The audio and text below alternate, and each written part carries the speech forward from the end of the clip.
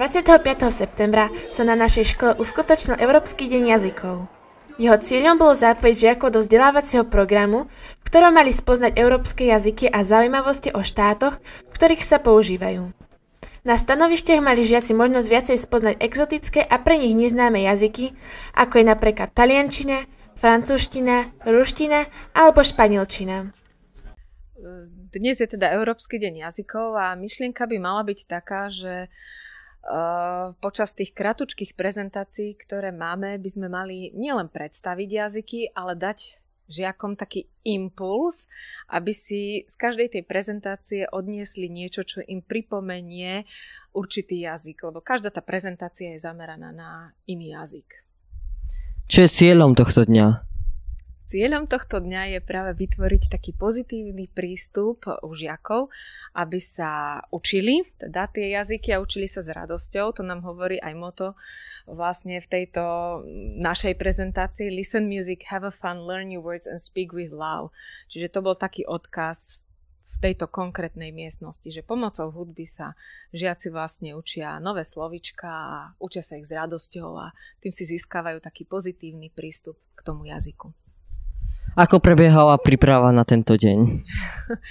príprava bola dosť dlhá, ono sa to nezdá, ale 7 minút je síce krátka doba, ale keď to chce mať človek eh, poriadne pripravené a pekne, tak si to vyžadovalo niekoľko hodín.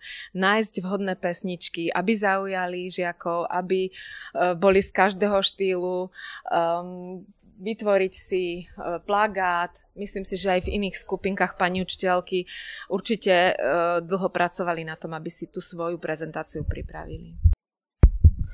Čo chcete dňom jazykov dosiahnuť?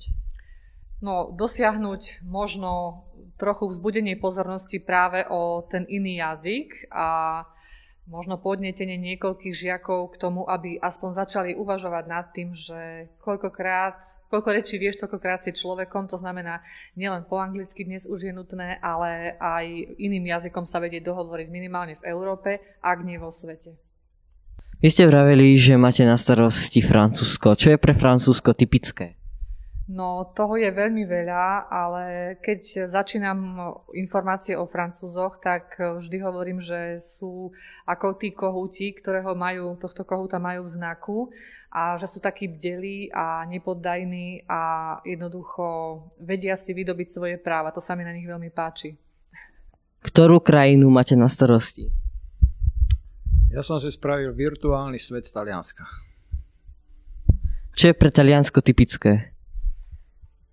Taliansko je krajina, ktorá je dlhá 1300 km a, a pre Taliansko sú typické prírodné krásy, umelecké klenoty, a všetko to, čo je, čo obsahuje tá plocha krajiny, si myslím, že iný štát nemá obsiahnuté od pláží, cez historické pamiatky, cez staré uh, impérum rímske.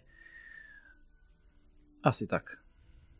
Ako turistická destinácia je Taliansko obľúbené? Pre mňa určite áno.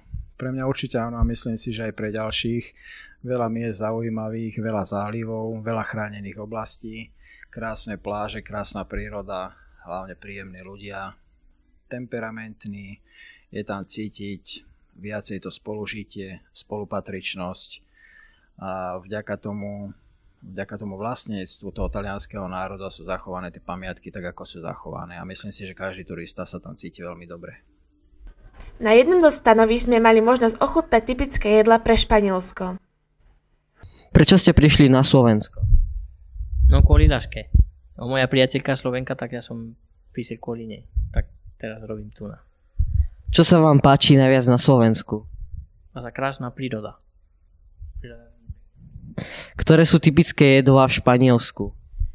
La paella, to je taká španielská risa risotto a gazpacho, tu nám máme, to je taká studená polievka španielská omeleta, máme veľa typické, ale na, moje najľúbenejšie je paella.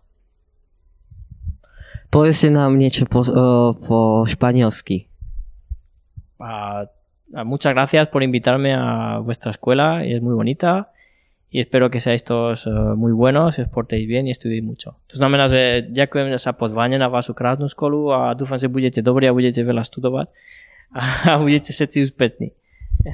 Tento deň si žiaci prvého, ale aj druhého stupňa veľmi užili a spoznali mnoho zaujímavých informácií o európskych štátoch. Ako vyzerala vaša prezentácia? Moja prezentácia nebola zameraná na konkrétny jazyk, lebo tá angličtina a nemčina, ktorú ja učím, už nie je pre tie deti taká atraktívna. Takže ja som skôr zvolila hudobnú miestnosť, pretože hudbu počúva uh, každý z nás a nás baví počúvať hudbu. Takže v mojej prezentácii mali žiaci, uh, počúvali ukážky z desiatich pesničiek, ako napríklad e, Norsko, Fínsko, Lotyšsko a mali podľa posluchu priradiť číslo pesničky k danej krajine. Cieľom vlastne tejto prezentácie bolo, ako som už spomínala, ukázať deťom, že pomocou toho, čo ich baví, sa dá krásne naučiť ten jazyk, nové slovička, ale hlavne, aby mali tú radosť z toho, že sa učia ten jazyk takýmto spôsobom, ktorý ich baví.